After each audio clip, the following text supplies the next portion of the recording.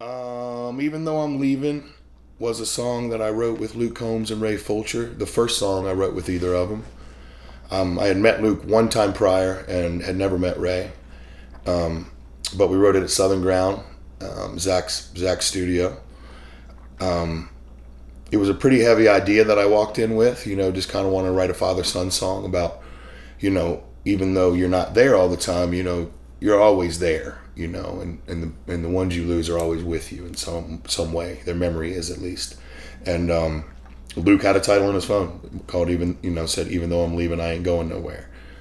So we quickly jumped on it and uh, it's a really heavy song to write with strangers, but um, when you're with writers who get it and are willing to put their heart on the table, you know you can, you can get it right. And um, it was one of those we, while we were writing it, we kind of knew we were writing something pretty big, and you know it, it did really well. And um, the best part about it for me was the reason I got into music was the way it made me feel and made me feel connected to something bigger and not alone when I was sad and you know just take you away for three minutes in a in a song or two hours in a concert and you know forget about all the other stuff sometimes you know um, and that song did this and a lot of people reached out and still do and say thank you and say how it helped them through a hard time or made them feel not alone and um, that's that's the best, man. Like to be able to connect with people you don't even know and, and make them feel better. And um,